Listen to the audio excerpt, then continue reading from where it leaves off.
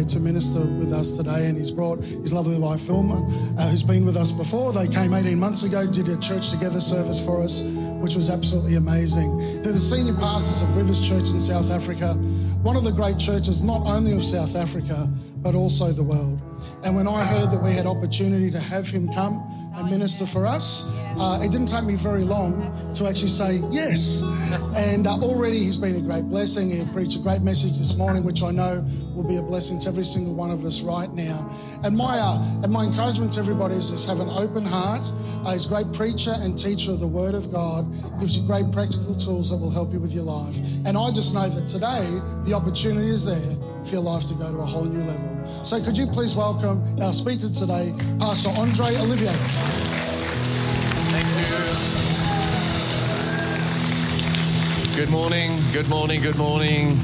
Thank you. Wonderful privilege to be with you again, Pastor Ben and Pastor Trish at King's Church. Thank you for the invite. Thank you for the hospitality. Lovely uh, night we spent together chatting last night. Great fellowship. Isn't he a great uh, leader? State president? Hmm? Not every church has a state president. Not every church has a state president. Fantastic. Lovely couple. Been good fellowshipping with them and getting to know them. We have similar values in the kingdom, and it's my honor and privilege to be here with you today. Are you receptive today? Ready to receive? I've got a very simple message, but I think it'll be practical and helpful to you. So um, take a seat. I think it'd be good to do. And then I will get to uh, show you my family because I'm traveling with my wife, Vilma. We've been married for 51 years. And uh, last time I came, I came with my daughter, who is uh, on the right there, on the on, on, on my left, um, on your right, and uh, and then there's my other son who lives in England, and his family, and uh, he's 50 already. Can you believe it? I can't believe it went like that. You know, the other day we were we were looking after children and changing nappies, and now he's 50. So, and then I'm traveling with Carlito. He's single, and he's doing my visuals today, and. Um, he's available after the service to uh, chat, shake hands, and change phone numbers. So, are you ready to receive the word this morning? Love being in church. You love the church? You love the Lord this morning? You're going to be receptive. I'm a visitor, so be nice to me. Be friendly. Uh, in my church, they like me and they clap and they say amen. So I expect the same here. Put your hand on your heart. Let's pray. Father, thank you for these wonderful people, this wonderful church, and the constant growth and expansion they're experiencing. Thank you for the leadership here. I pray that you would use me today to impart grace and favor, helpful teaching, practical advice, and that you would touch hearts, that you would give us more than information today. You give us inspiration, and that you would touch hearts. And so I pray for impartation to the heart, pray for transformation in the service, not because I'm speaking, but because you're speaking. Let your voice be heard. I pray at the close of the service, let people discover you as Lord and Savior. Let me return to you and find fresh forgiveness and renewal and restoration. We commit our time to you now. Holy Spirit, speak as only you can. Our ears are attentive, our hearts are open. In Jesus' name, amen. And amen, amen. As I open this morning, how many of you know, and this is, this is a strange statement to start with, but did you know that failure is inherent in all of us? There's no one in the room who hasn't failed or who won't fail still. In fact, if we look at the Bible from the very beginning, right from Adam, Adam and Eve failed. Then they had children, Cain failed, murdered Abel. And uh, we go on, and God chooses Abraham. Abraham sleeps with Hagar. He doesn't need a second invitation and brings strife into his life and he lies to Abimelech that his wife Sarah uh, is his sister. And so we see failure inherent in mankind from a very early stage. God chooses Noah and wants to start a new generation with Noah. Noah comes out the ark, plants some vineyards, and lies drunk and uncovered. And uh, we, we discover that failure is inherent in all human beings. We go to David and we see King David, a man after God's own heart, failing by taking someone else's wife and then committing murder. God chooses someone like Moses, a great leader, a great uh, statesman, if you like, but he's got a temper. He kills one of the Egyptians and he strikes the rock, and God prevents him from going into the promised land because of his failure and his weakness. And then we think of someone like Simon Peter, the leader of the apostles, of, of the 12, not just someone among them, but the leader. You'd expect more from a leader, wouldn't you? But he denies the Lord three times after making promises. And then you go further in the New Testament, the book of Acts, you see Barnabas, a lovely man, sold a field, and you go, wow, isn't that great? Son of encouragement. And he brings the money and lays it at the apostles' feet. But in the book of Galatians, we read that he's led along by the hypocrisy of others and he's drawn into compromise. And so there again, we see failure. But how many of you know that despite failure, we can recover and we can move forward? And God wants us to understand and recover from our failures. And so I want to speak to you today. I've entitled the message Understanding, because you must understand how it's worked, and then recovering from our failures. And many people don't recover from failure. They live as Christians with guilt and condemnation, and they don't know how to move forward. The late Pastor John uh, Wallace Hamilton said this in one of his books. He said, People are training for success when they should be training for failure. Failure is more common than success poverty more prevalent than wealth, and disappointment more normal than arrival. Isn't that the truth? And so, really, we need to understand failure and know how to move on from it. Can I ask if there's anyone in the room who's never failed? Because we could just pause for a moment and let you go home or go and have a coffee while we continue with us mere mortals in the room. failure exists in all of us. In the book of James, it says this we all stumble in many ways. Anyone who is never at fault in what they say is perfect able to keep their whole body in check. Isn't that the truth? So we all stumble in many ways. Paul says, even when we have good intentions as Christians, we can fail and fall short. Romans chapter 7 and verse 19 For I do not do the good I want to do, but the evil I do not want to do, this I keep doing.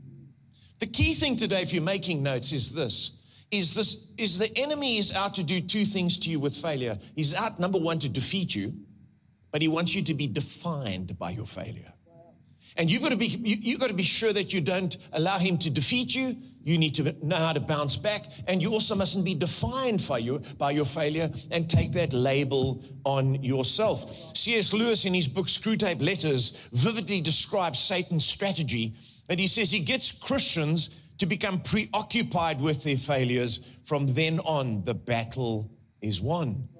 And failure is a way of sucking the life out of you, can make you depressed, make you even suicidal as a Christian. But we serve a God who wants us to overcome and recover from failure because his mercies are new every morning and he has grace for us to move forward. Jentezen Franklin, wonderful uh, preacher and communicator, I'm sure you all know. He says this He says, the celebrity gossip industry rakes in over $3 billion a year because we live in a world that thrives off of sensational stories of failure. The enemy wants to use your mistakes to mock you, but God can use them to make you. If you let them, the people around you will define you by your failures. Don't be held hostage by your bad choices. Your failure is not final. And we thrive off failure and we love gossiping about people. And the devil wants to define you by that, but God says, no, you need to understand how this is working in life, recover from it, and move forward. John Maxwell says a person must be big enough to admit her or his mistakes, smart enough to profit from them, and strong enough to correct them. I trust you'll be big enough today if you fail to open up and respond to God and move forward. I'm going to give you five things that we will look at today. And number three, we'll take a bit of time to unpack. But I believe these five, the number of man's weakness, six is the number of man, failure is the number of man's weakness. Uh, the layman lay under five porticos. And uh, I, I want to look at this and just help you practically. Do you think that'd be good? You can make notes if you want to. And if you don't want to, just go to sleep or play on your phone, whatever you want to do. Number one, admit your failure. The first thing in recovering from failure is to admit your failure. Don't deny it and don't play the victim and don't blame other people. People are constantly blaming other people for their failures. Even Christian leaders do this. They blame circumstances, they blame their board, they blame other people instead of saying, I did this and I'm sorry and I move forward. And you can't go anywhere unless you admit your mistakes. Proverbs 28 and verse 13 says this A man who refuses to admit his mistakes can never be successful. Never. But if he confesses and forsakes them, he gets another chance. You all know the story of the prodigal son. When he failed, abandoned his father, when he came back, what did he receive? He, forgi- he received forgiveness. Isn't that true? Because he admitted, I have sinned against heaven and against you. Then he comes back, he receives forgiveness, he receives restoration, and he receives blessing. Because that's what God does. Have you noticed that when people admit their mistakes, you're drawn to them rather than repelled by them? So when someone doesn't admit it, you're like, you feel like almost tempted. Hey. But when they admit it, grace comes from you and grace comes from God. So it's extremely important that we admit our mistakes because God responds to us and so do people. In James chapter 5, it says, Admit your faults to one another and pray for each other so that you may be healed, restored, you may recover. So admit your failure. Number two, don't label yourself a failure. See, failure is not something that you must wear, it's something that happens to you, something you do, not something you are. Failure is an event, not a person. It's an event, not an identity. And we can tend to make it like a label, almost like a clothing label that we wear, and we kind of call us, I'm no good and I, I never get this right and I'm always doing that. And you've got to be careful if you label yourself a failure because the next step is leaving church. I don't want to keep coming here because I don't want to pretend. Can I just say you, ha- you come here and pretend because we're all on a journey. And don't misunderstand me. Don't, don't be, you know, don't live a double life. But when we come into worship, isn't that true? We pretend. Because we don't always feel like it. I don't always come into church and feel like worshiping. Sometimes I'm tired. Sometimes I'm weighed down by concerns. Sometimes you've, you've had an argument all the way up to the door. Hmm? Husbands and wives, you argue up there and then you walk in. Praise God, hallelujah. but what happens when we start singing? We bring a sacrifice of praise because we don't want to wear the label, we don't want to wear that heaviness. And so we, be, so we need to come away from that and move towards God. And uh, Here's, a, here's an important thing about labeling yourself a failure. You can end up writing off all the good that God is doing in your life. And all of us have weaknesses, but we're not all bad. Isn't that true? We have good qualities. Uh, when you think of David, King David, you don't necessarily think of his adultery. I mean, it stands out, but you think of a man after God's heart, a man who was a good king, a man who prepared the kingdom for Solomon, a man who raised up mighty men, a man who brought stability to Israel, a man who wrote all the Psalms that we enjoy. You think of him like that, and you've got to be careful that you don't look at the but in your life, because sometimes your big but is your problem. Anybody got a big but that they keep looking at? Let me explain before you send me out of this church. The Bible tells me that there was a man called Naaman and he had many fine qualities, but he had a but. But the Bible first lists the five good qualities before it lists the but. 2 Kings chapter 5. Now, Naaman was commander of the army of the king of Aram. He was a great man in the sight of his master and highly regarded because through him the Lord had given victory to Aram. He was a valiant soldier, but can you see his butt? he had leprosy. How many of you know we often bring our butt to the front instead of, I've got this, I've got this, but I need to deal with that. And when you label yourself a failure, you're bringing your butt to the beginning instead of leaving it for God to deal with, and you make it a label in your life. So easy to feel a failure, especially when other people are successful. I find that in my life, I've had to watch out when I see other people, uh, God blesses them and they're fruitful. It can make me feel like I'm failing. But I've got to recognize that I'm not a failure as long as I'm fulfilling God's calling on my life and I'm walking in the path and growing with Him. Comparison is a dangerous thing. We have a race in South Africa. It's called the Comrades Marathon. It's 88 kilometers long. And you can imagine the person, or the particularly the man, because there's the men's woman, uh, uh, men's race and the women's race. Imagine the man who crosses the line. I mean, people are going crazy that this guy could run 88 kilometers and run across the line ahead of every uh, you know, thousands of other people. But guess what? When the person who comes second comes, we don't go boo. No, we cheer them. We cheer number three. In fact, the Comrades Marathon is interesting. When, when it gets to the cutoff point, it's 12 hours after the first person has run over the line. We cheer those people on, even though they're crawling on their hands and knees across the line, because they are not failures because they finished. But when you label yourself, you say, well, if I wasn't in the first three, then I'm, there's no point even running. I know the Christian race is to be run. And if you can cross the line, don't label yourself a failure. Can you say amen? The late Zig Ziglar, he is a, a, a, great motivational speaker. Many of you would know him. I've read a lot of his books over the years, and I invited him to preach at Rivers, but we got a response that he only preached in Baptist churches. So it never came about, and now he's gone to be with the Lord. But he said this he said, The greatest joy in living lies not in never failing, but in rising every time. Sorry, you cannot climb the ladder of success dressed in the costume of failure. Don't label yourself. Number three, examine why you failed. And I talked today about understanding and overcoming failure. I want to unpack this a bit because you've got to understand why you failed. Uh, the, the author Simon Carruthers says this. He says, Life is a series of outcomes. Sometimes the outcome is what you want. Great. Figure out what you did right.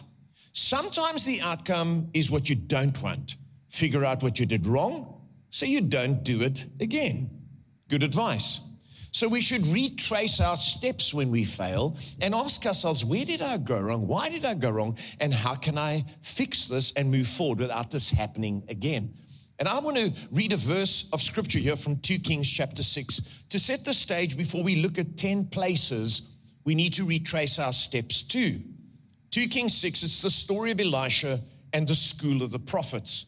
And, and before I read it, I want you to note that these people were not caught up in sin, they were busy expanding the kingdom. And you can fail when you're busy expanding the kingdom. You're not necessarily doing something devious, you're busy in growth, but failure can come. And it often happens to some churches when they're in a growth phase. And we'll read you 2 Kings 6 and verse 5. It says, They went to the Jordan and began to cut down trees this is for enlargement. As one of them was cutting down a tree, the iron axe head fell into the water. Oh no, my lord, he cried out. It was borrowed. The man of God asked, not why did you lose it? He says, where did it fall? When he showed him the place, Elisha cut a stick and threw it there and made the iron float. Lift it out, he said. Then the man reached out his hand and took it. Say to your neighbor, reach out your hand. Very important. Notice Elisha didn't pick up the axe head, the man did. And I'll elaborate on that a bit later. But we see here that failure occurred even though good intentions were in operation.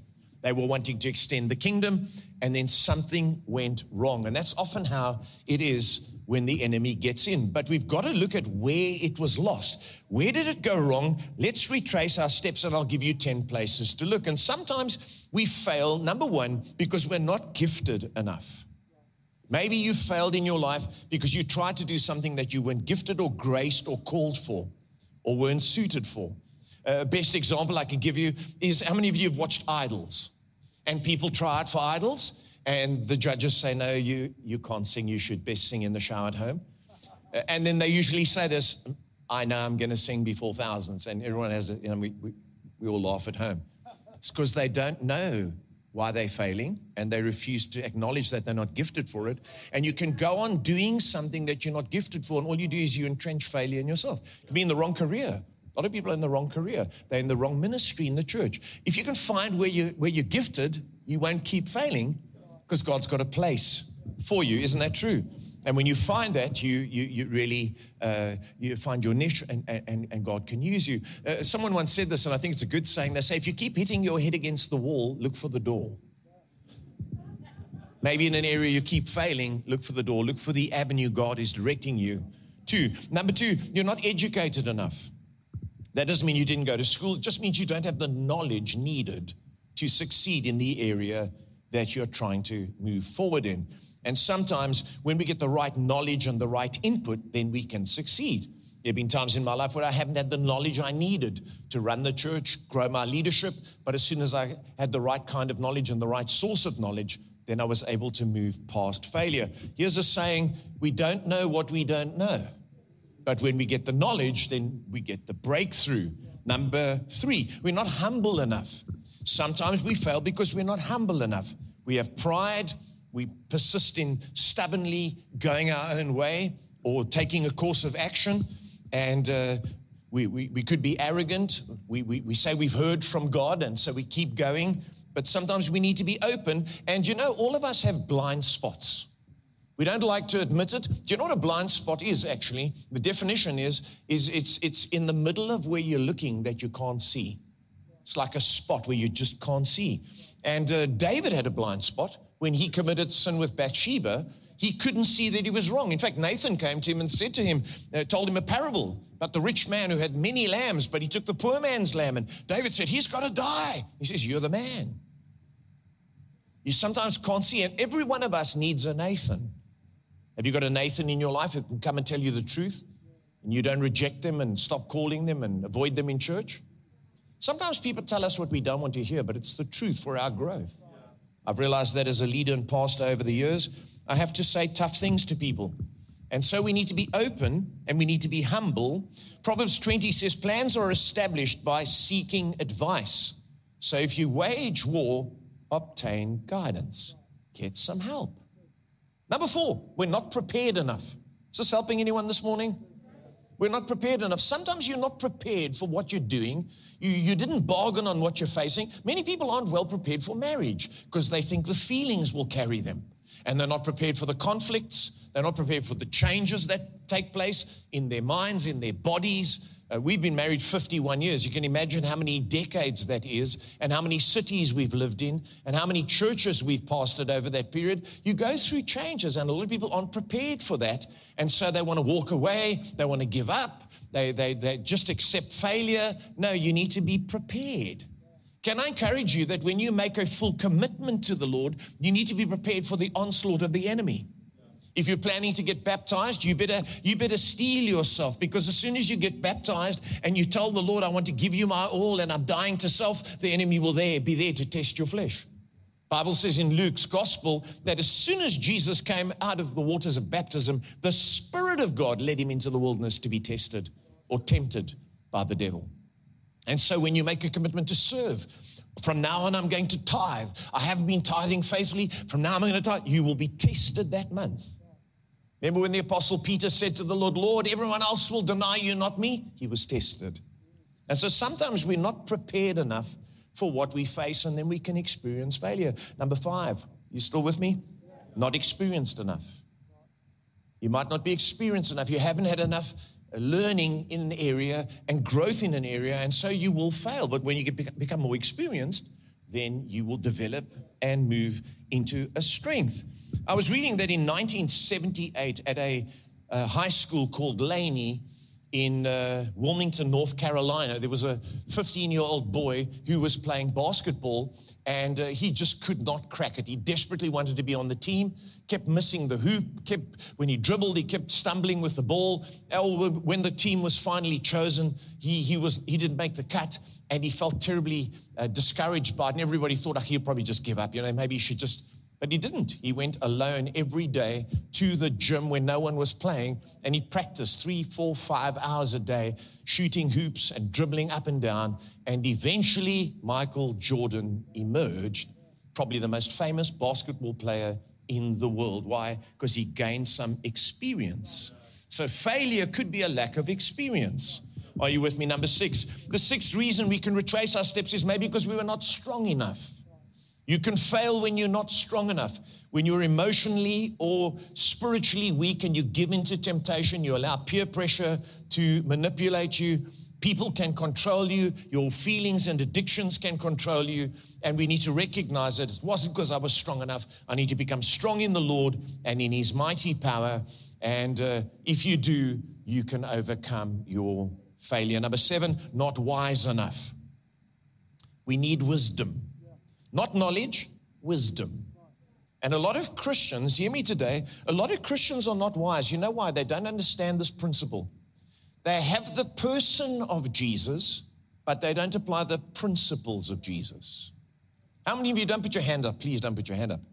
But how many of you know Christians who know the person of Jesus? Their prayer life is good, but they make very stupid decisions. In fact, I did a message recently stupid things that happen to clever people. Didn't think it was a good message to preach when you're visiting. Everyone had a good laugh. Because how many of you know stupid things happen to clever people? Because we can have the person of Jesus, but we need the principles. And the principles give us wisdom because they come from the Word. The whole of the Bible is the Word of Jesus because in the beginning was the Word, and the Word was with God, and the Word was God. So when you have the Word of God, you grow in wisdom, and there's less chance of you failing and making massive mistakes. Isn't that true? And uh, people who've got wisdom, even uh, practical wisdom, don't fail and they're successful. And sometimes we think some people are born lucky. Isn't that true? He was born clever. No, no, no one's born clever. You learn by experience and you gain wisdom. I was recently reading about a, a man, and his name is Benjamin uh, Graham. And uh, Benjamin Graham uh, wrote a book called The Intelligent Investor. And uh, in the book, he talks about all the mistakes he made in trying to invest money and how he learned from them. Well, guess what? Warren Buffett read the book and studied it. And that's why Warren Buffett is like a wonder investor because he learned from Graham how to overcome failure by gleaning his wisdom. There's no such thing as just being lucky. We need to gain wisdom. Number eight, not responsible enough. If you fail and you, because you're not responsible enough, you need to admit it. I didn't take responsibility. Don't blame the devil when you're in debt. Satan got into my finances. No, no, you have the code for that auto teller. You're the one who makes those transfers. You're the one who drew money and went shopping and told yourself, I'm worth it, when your net worth wasn't worth it. Amen?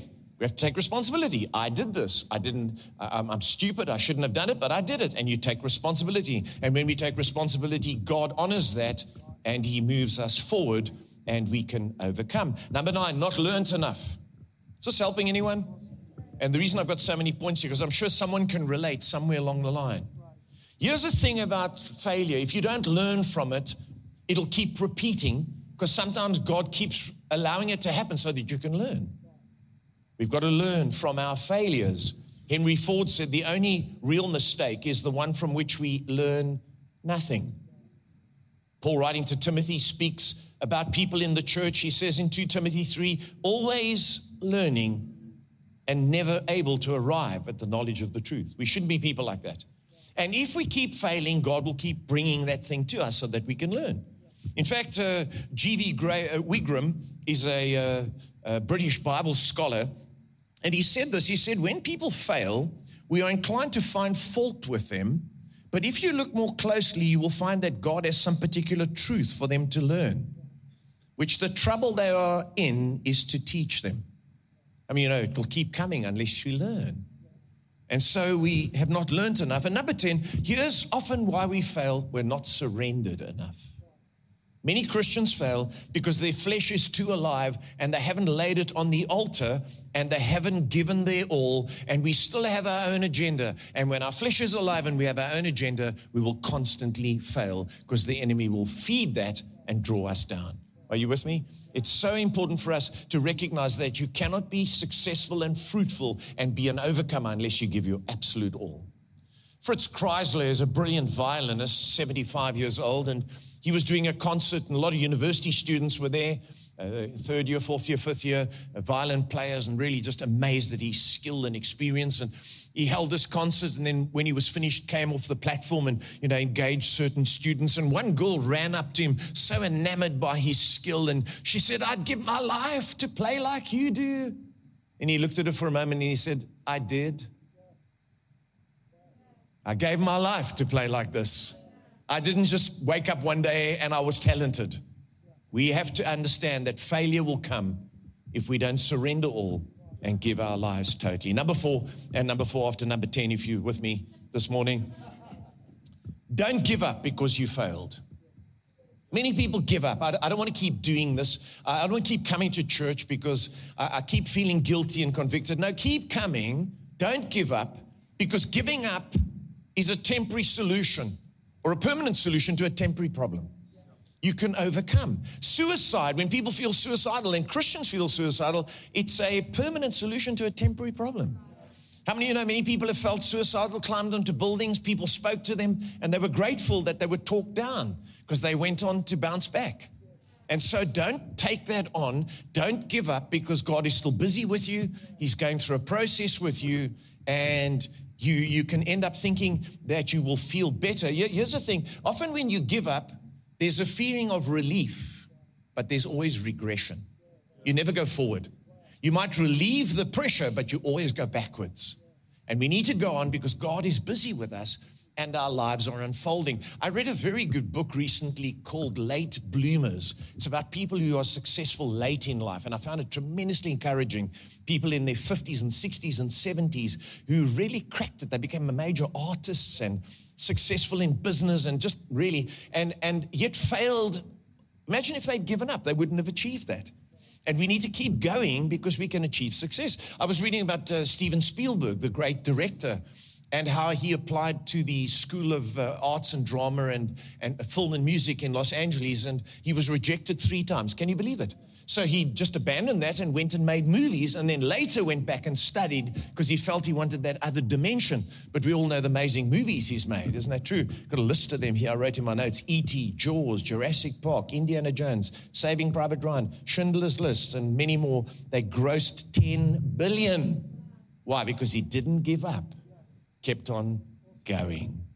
Number five, put your failures behind you and move forward. Has this helped you today? See, we, we need to put our failures behind us because we're encouraged here in Proverbs 24. Because some of us think that we're bad people if we fail. Proverbs 24 says, For though the righteous fall seven times, they rise again.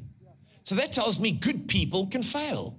But what do they do? They don't give up. They put them behind, their failures behind themselves, and they move forward. And we need to recognize that the church is still God's plan for us. We're meant to be believers. We're meant to go on with Him. And we're not meant to give up, but we're meant to press forward and trust God for a new beginning. John Maxwell says the difference between average people and achieving people is their perception of and response to failure. We've got to put it behind us and recognize that we can move forward and God's got new things for us and move ahead. If you look at Peter and his response to failure versus Judas, there's quite a contrast. Both of them could have been, you know, Judas could have recovered and come to Jesus and repented, but instead he committed suicide. Isn't that true? And uh, if you look at Peter versus Judas, Judas had a breakdown, Peter had a breakthrough by putting his failure behind him. Judas gave up, Peter looked up. You said, What do you mean? Well, in John 21, when Jesus made the fire, cooked the fish, he gave the bread to Peter, and Peter took it with his hand. Do you remember the man with the axe head? He reached out his hand. And you can take God's forgiveness instead of rejecting it. Judas gave up, Peter looked up. Judas rejected the mercy of God, Peter accepted the mercy of God.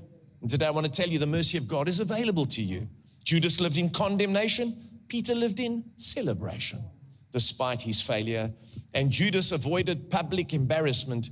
Peter faced up to public embarrassment. You know, when you fail, the, the enemy wants you to keep it secret and hide it.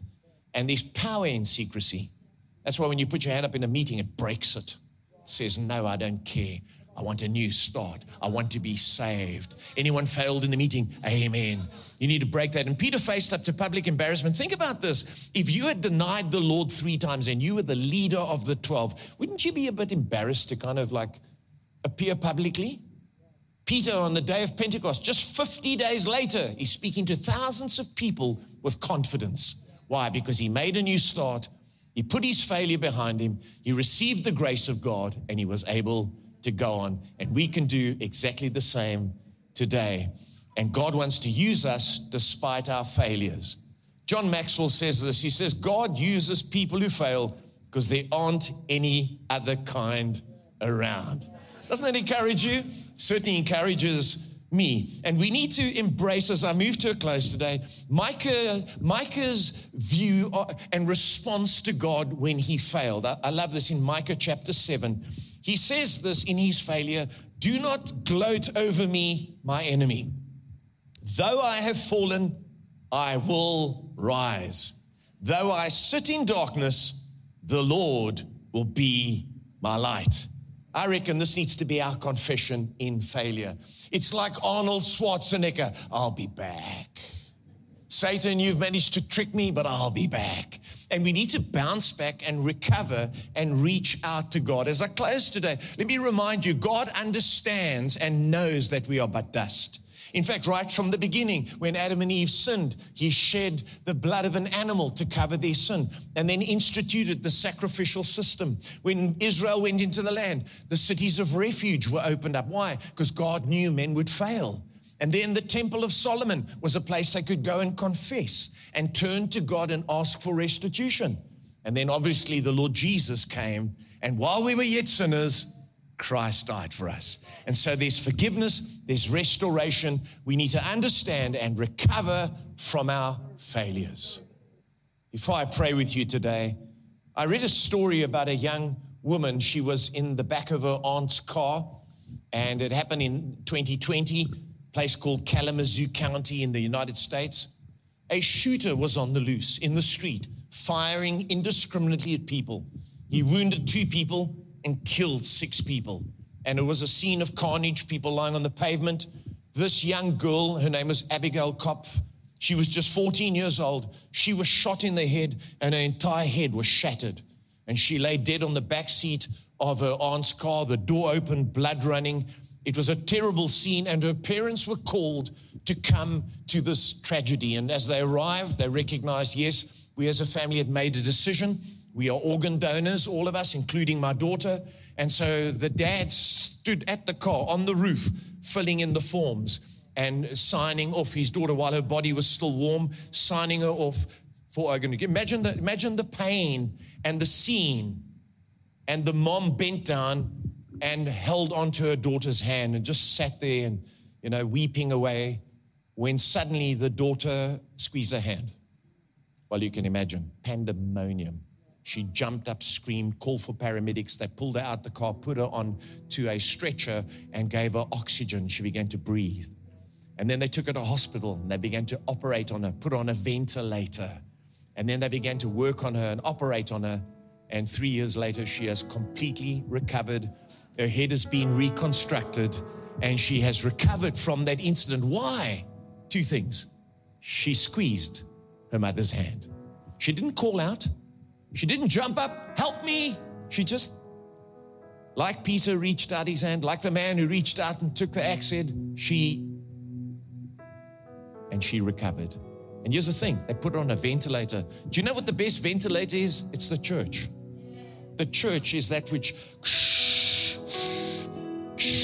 breathes life back into you, gets you back on your feet.